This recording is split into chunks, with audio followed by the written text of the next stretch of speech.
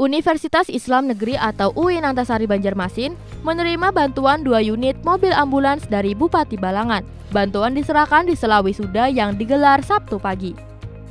Bantuan diserahkan Bupati melalui Asisten 3 Administrasi Umum Sekretariat Daerah Kabupaten Balangan, diterima Ketua Senat serta Rektor UIN Antasari Banjarmasin.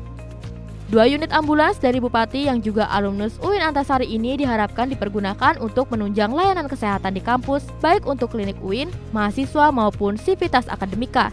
Eh, berupa dua buah unit mobil ambulans uh-huh. untuk Universitas Islam Negeri Banjarmasin, Antasari Banjarmasin.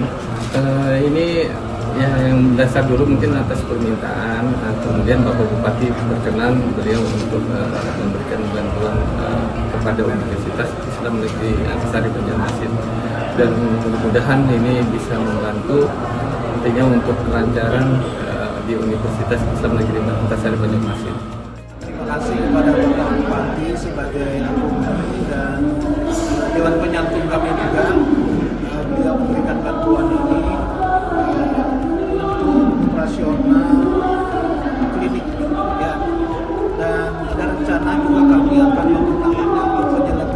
jenazah ya di uh, kampus satu insya Allah kalau klinik kan di kampus satu pusatnya dengan adanya dua bulan mungkin satu nanti di kampus dua ini. Sementara dalam wisuda sarjana ke-80 dan wisuda magister serta doktor ke-50, UIN Antasari meluluskan sebanyak 879 orang.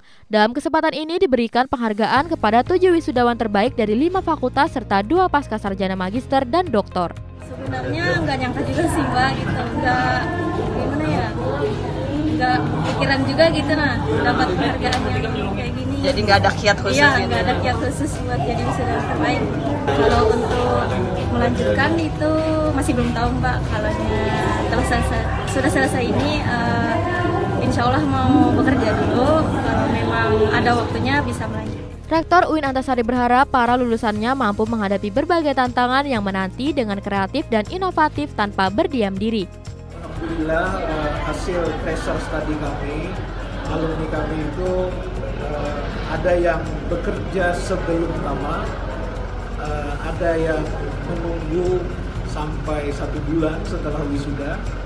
Yang paling lama itu enam bulan ya setelah wisuda mereka sudah mendapatkan pekerjaan.